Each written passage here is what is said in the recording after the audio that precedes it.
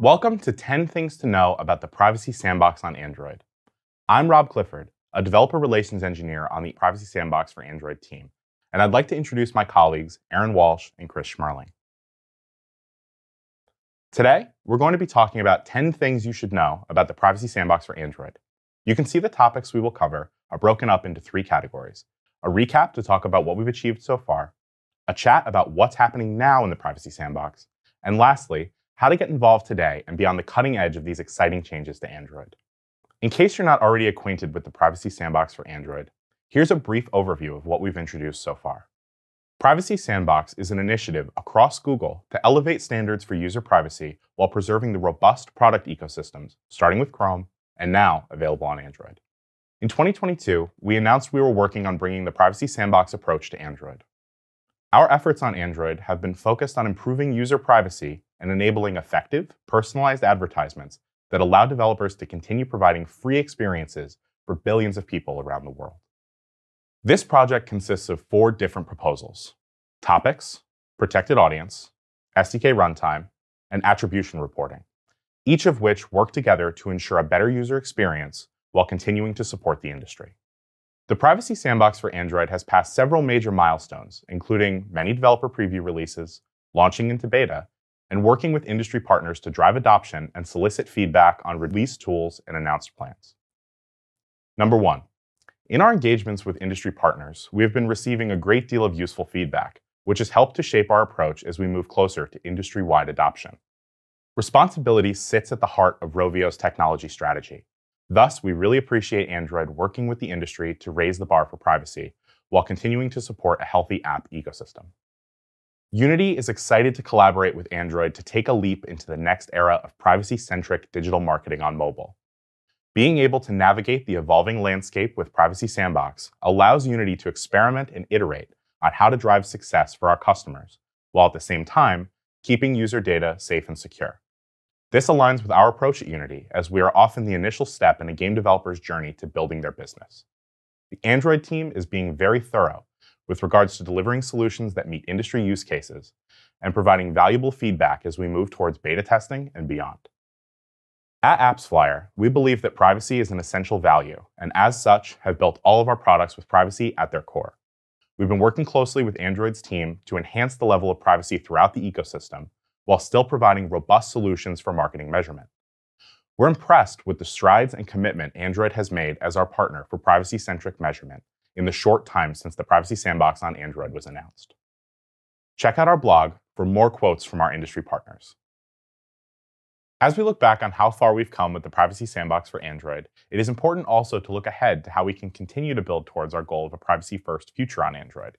And I'm going to hand it over to Erin to talk about highlights in our current and future plans for rolling things out. Thanks, Rob. Now that we know what the Privacy Sandbox is, let's talk about some exciting new features we've released. We've begun releasing beta versions of the Privacy Sandbox alongside our developer previews. The beta program integrates with stable Privacy Sandbox APIs for testing on a limited number of Android 13 devices in production. We recommend that you try out developer previews first to use the latest Privacy Sandbox features, then graduate to beta for a stable integration. Before you can try either version, you must go through the enrollment process. Check out the Google I/O talk, Getting Started with Attribution Reporting, to learn more. Number two, you can access the beta releases through the Privacy Sandbox Jetpack library. Using Jetpack is the preferred way to call the Privacy Sandbox APIs. A useful feature of Jetpack is backwards compatibility. If you use Privacy Sandbox through Jetpack, you can build it once for the latest platform versions without needing to worry about breaking older devices. It's automagical. To use the ad services Jetpack library in your app, Simply declare a dependency on the Privacy Sandbox Jetpack library in your build.gradle file. And then, at runtime, use the obtain function to check for availability. Obtain will return null if the Privacy Sandbox is not available. To see the Privacy Sandbox Jetpack library in action, check out our samples on GitHub. Number three, SDK extensions. You can also access beta releases through SDK extensions. SDK extensions are a new mechanism for accessing APIs of features delivered through modular system components outside of major Android releases. To use an SDK extension to access the Privacy Sandbox, first you need to check which SDKs include the APIs you want to use. You can check this on our API documentation at the top right of the page. Then you need to make sure your app compiles against the listed SDK level or above. Privacy Sandbox also requires ad services extensions. You can declare these in your app's build.gradle file. Then, at runtime, you can check whether the Privacy Sandbox beta is available on your device by using the SDK Extensions API to check for your ad services version. If the check returns the minimum level or above, you're ready to use the Privacy Sandbox beta on your device. Number four, SDK runtime. In case you've missed our previous announcements and proposals, one of the most significant changes to the Android development workflow coming with the Privacy Sandbox is the SDK runtime.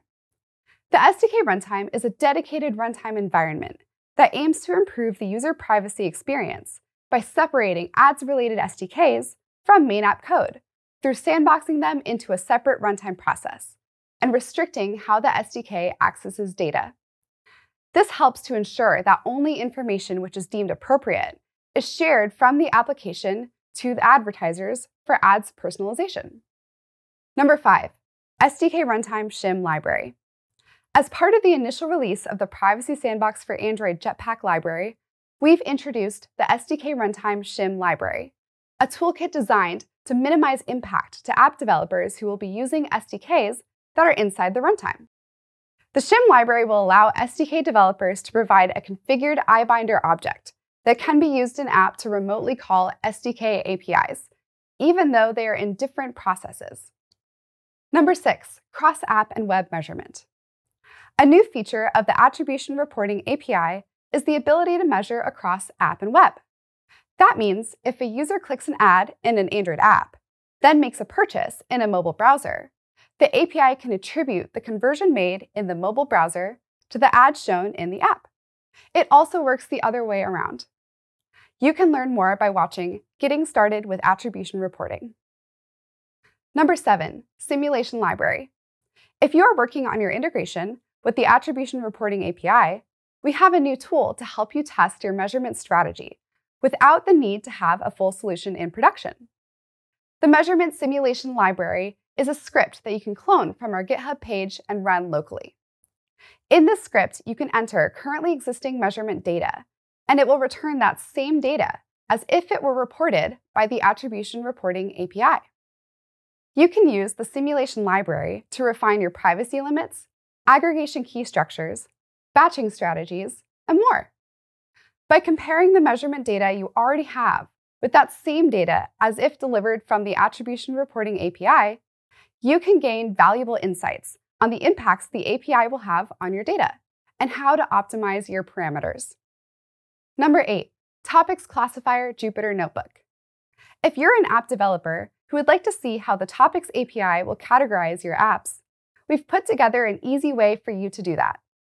Instead of needing to build a sample app using the API, you can use our topics classifier Jupyter Notebook that you can access through Google Colab in your browser. This enables you to see how different combinations of app data will change the resulting topics returned by the API, so you can start planning to ensure your app is accurately classified. To learn more about how to get involved with all of these new features, I'll throw it over to Chris.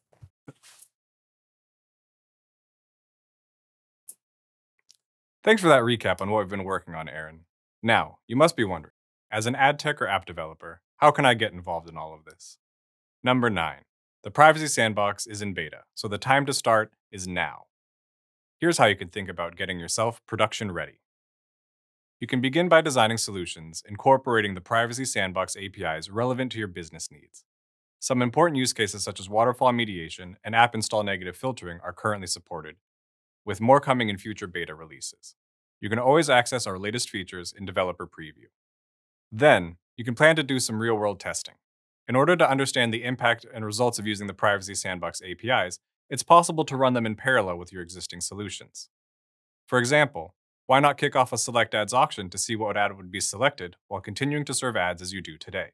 Finally, engage with your other ad tech partners. The mobile ad space is an ecosystem, and everybody needs to play their part to make the whole thing run smoothly. Talk to your partners and see what they are doing with the Privacy Sandbox today. Number 10. Are you an app or game developer who shows mobile ads? Good news. You don't have much to do. Reach out to the mobile ad SDK providers you use to see what they are doing and let them know that user privacy is important to you. And of course, make sure to update to their latest SDK when they roll out releases that include their Privacy Sandbox integration. To help get you started, check out the Privacy Sandbox sample app repository on GitHub. Based on your feedback, we have begun building a sample project that shows how different type of ad tech companies can work together to build a solution across publisher and advertiser applications. Or keep up to date with the latest developments by following the documentation on developer.android.com. We are always looking for feedback on our proposals, and we'd love to hear from you. Thanks for watching.